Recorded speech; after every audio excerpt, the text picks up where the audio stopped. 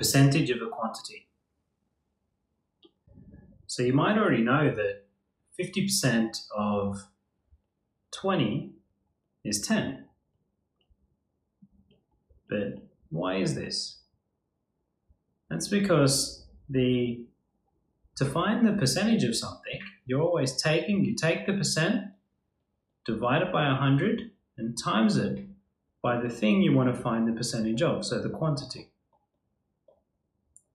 So let's apply that here. We take our 50%, divide it by 100, and whatever we want to find 50% of is what we multiply it by. To make things a little easier, you could put it over 1. Let's times across now, numerator and numerator. So 50 times 20 is actually going to be 1,000, and 100 times 1 is going to be 100, and 1,000 divided by 100 is just 10. So that's why 50% of 20 is 10. Let's do one that's slightly harder. Let's find 32% of 80. Now, we take our percentage, put it over 100, and times by the thing we want to find the percentage of, in this case, the 80. Now, a good little trick is to make sure that your denominator is 10 or 100 to make things easy. We can easily make it 10 by dividing by 10 diagonally.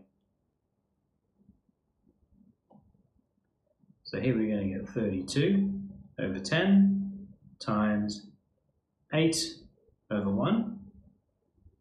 Now let's multiply our numerators together and our denominators together.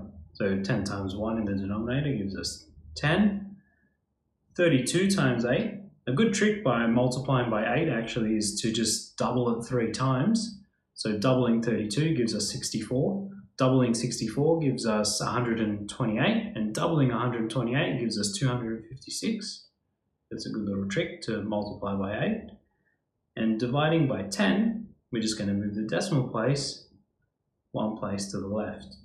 So we get 25.6 as our final answer.